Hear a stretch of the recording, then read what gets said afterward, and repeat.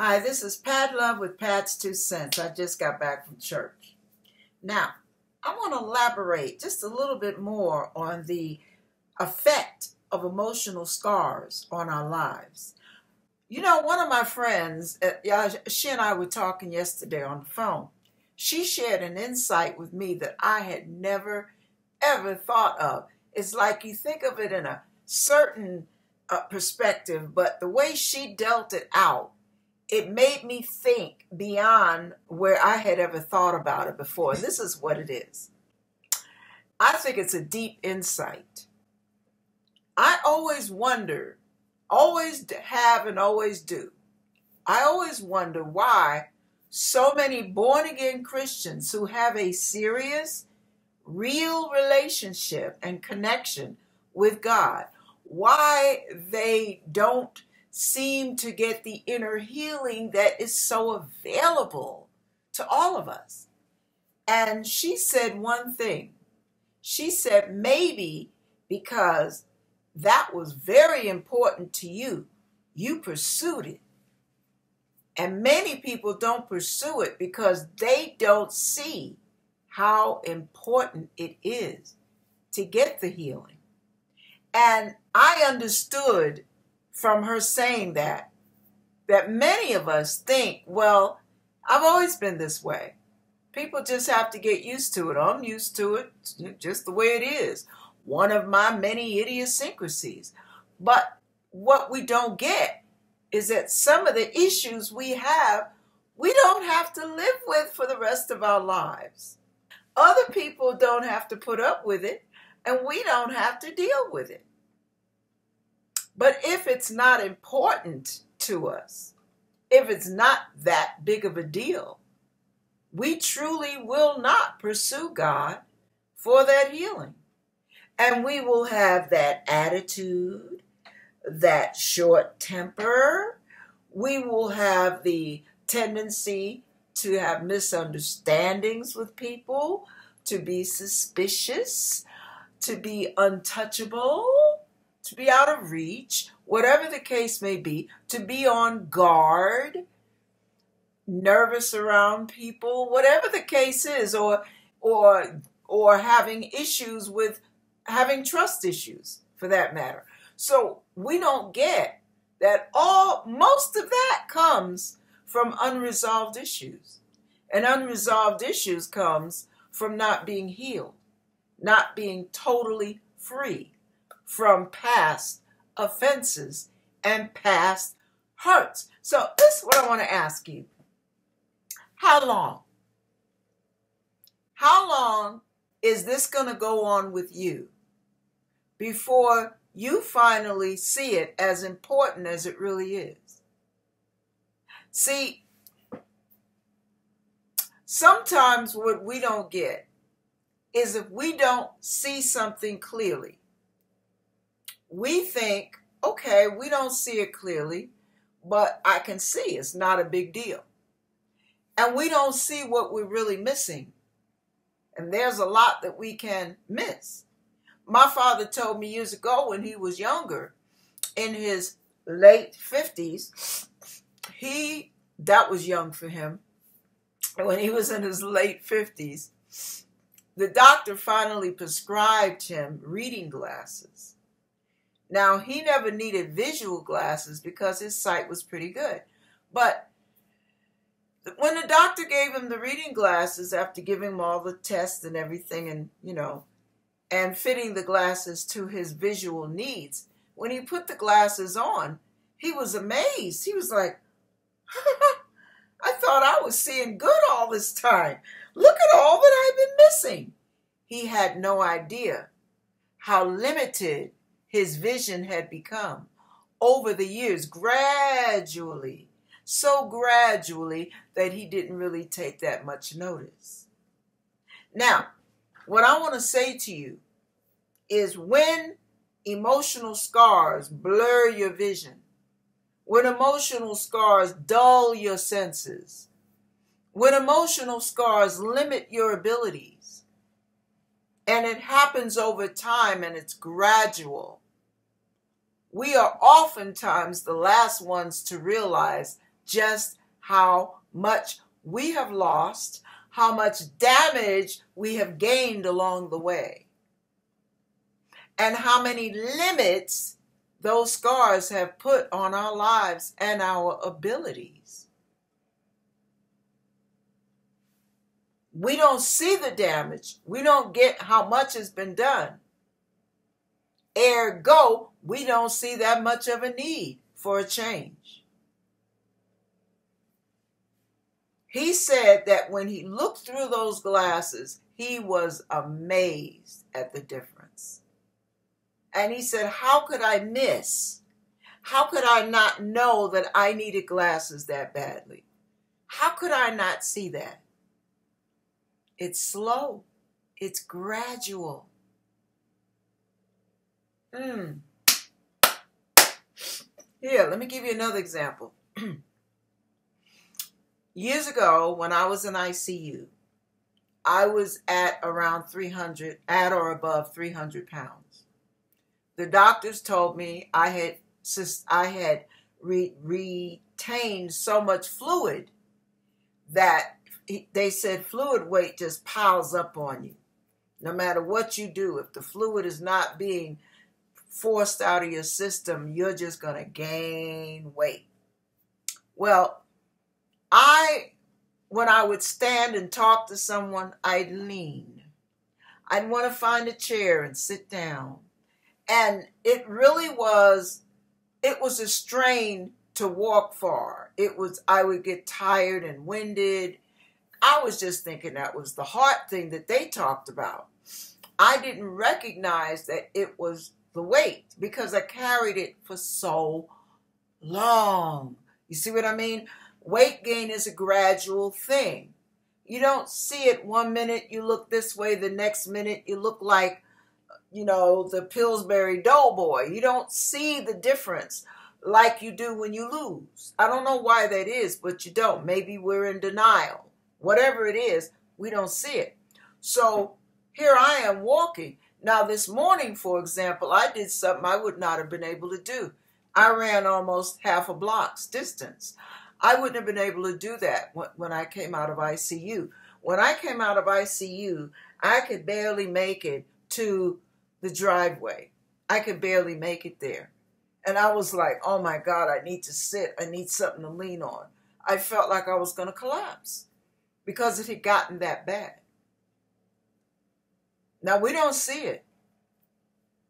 We don't get it. I don't know what it is about it when we're in the middle of a crisis and and everything in us is recoiling from the damage that has been done down through the years. We don't realize how dangerous that damage is. Now I'm going to stand up for a second. I want you to see something.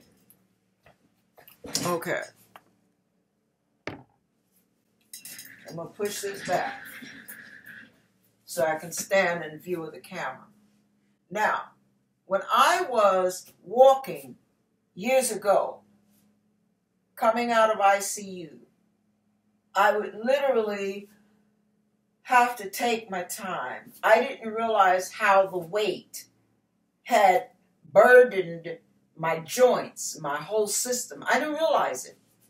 And the idea, even in church, having to stand for worship, I was immediately ready to sit down. I would stand a few seconds and I'd sit down, and I, I just could not sustain that. Well, Dum Diddy Dum Dum didn't get that it was the weight that was pulling me down. I didn't get it. I was thinking it was the crisis that I was in.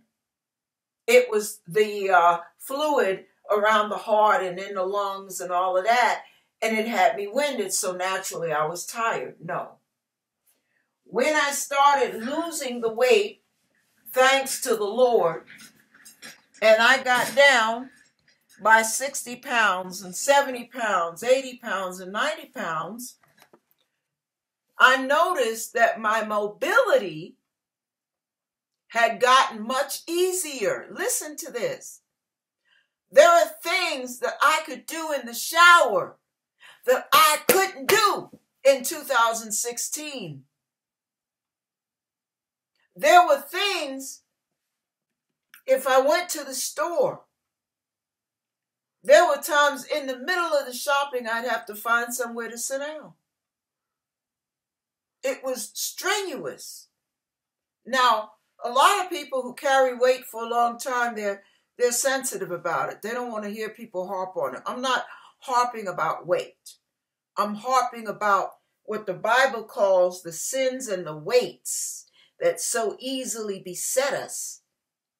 See, when your emotions are laden, Jesus said, Come unto me, all ye that labor and are heavy laden, and I will give you rest. Now, what happens is when we allow ourselves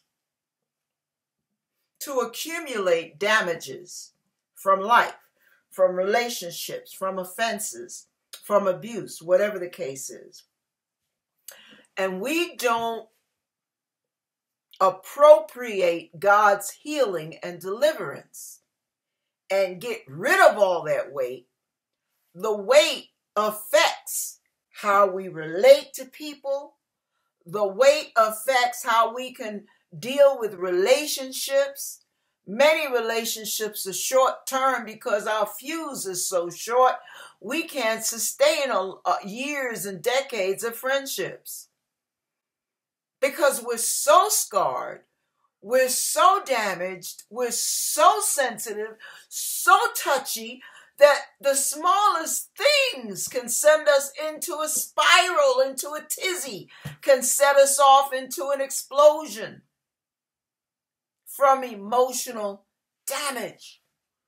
And we can't sustain the heaviness that life brings on us, that some of the responsibilities we can't even handle well because we're so busy dealing with our own emotional strains and weights and struggles and hurts that we can't manage life and its vicissitudes. We can't manage people because it's people that have done the damage to us. So the longer we live, the further away we pull back. It's too heavy. It's too much to handle. It's too complicated. My nerves can't take all that. Well, your nerves would be able to take a lot more if the weight that you carried was gone. Just like I know if I lose another 30 or 40 pounds, I'll be able to run around the block rather than barely run a half a block. I'll be able to run around the block and not be so winded. I know that. But see, some of you don't realize the level of freedom you could have. You won't realize it until you get it. I never knew when I was living an unsaved life that peace was a reality. I thought peace was a pipe dream. I thought true love and goodness was a fairy tale. It was nice to think about, it make you feel warm and fuzzy, but I didn't think it was real. You know, you hear all this stuff about what God can do in your life. It seems so far fetched when your life is full of trash, when your life is full of clutter and your mind is bogged down and twisted up with all kind of snarled up tangled up, messed up emotions and memories and bitterness and ah, it really makes it it makes for so much disillusionment that it pretty much stifles all of your hope. It trashes your dreams. It it it stops you from trying in a lot of areas of your life because you're so afraid of disappointment, you figure, well, if I don't try, I'm right where I am. I know where I am. I'm comfortable here. You've learned to manage the pain. That's pain management. But imagine a life with no pain. Imagine a life with no limits. You can do what you want to do when you want to do it, and you don't have to worry about am I going to have a heart attack? Am I going to fall? Am I going to get dizzy and faint? Because this is too much of a strain to put one foot in front of the other. The same way with emotions, you don't have to worry about, am I going to haul off and knock somebody out and kill them eventually and end up doing time in prison? See, emotional scars can literally blind you. It's called blind rage. Mm. Blind rage can have you come to yourself while you look down at a puddle of blood and your loved one laying in the middle of it wondering how did they get there because you you you zoned out so far during your emotional hissy fit and your, your temper tantrum that you all the anger that was built up down through the decades did that through your hands. And you don't even remember doing it. You know you got mad you know you got hot up under the collar but that's all you remember till you come back to yourself oops, what do you do now? Because you're going to have to do time. You're going to have to go to trial. You're going to have to live with what you did for the rest of your life. Now you have no more loved one to get angry with. Now what do you do? That's called that's what you call self-destruct mode. And all that comes from emotional scars that you think are no big deal. You just keep sweeping it up under the carpet because you don't want to deal with it. Why do you not want to deal with it? Because you know you are going to have to feel something. And you don't. God forbid. No, no, I felt it once. I don't want to feel it again. And sometimes God will take you, if you allow Him, He'll take you to the point of that pain. When you get to the point of that pain, you're going to feel it, baby. But once He deals with it, gone. No longer. You won't feel that ever again. But because you won't allow Him to get in and yank that thing out by the root, you have to live with that crap for the rest of your life. And you wonder, where is we real joy, real peace, real freedom. Does that really exist? You know why you wonder? You have yet to experience it. Why do you yet to experience it? Because you're still living with all your turmoil and all your clutter from all the years of mount up pain. And you have just learned to manage it. You're a functional emotional cripple. But you can function with it. You can hold down a job and pay your bills but you're barely existing in your life. You're not even living. You don't even know what it feels like to really be alive. Hmm. Emotional pain, emotional wounds, emotional scars, psychological damage dulls the senses. And it even hinders you from enjoying the good things of life. Do you really want to go that way for the rest of your life? Is that okay with you?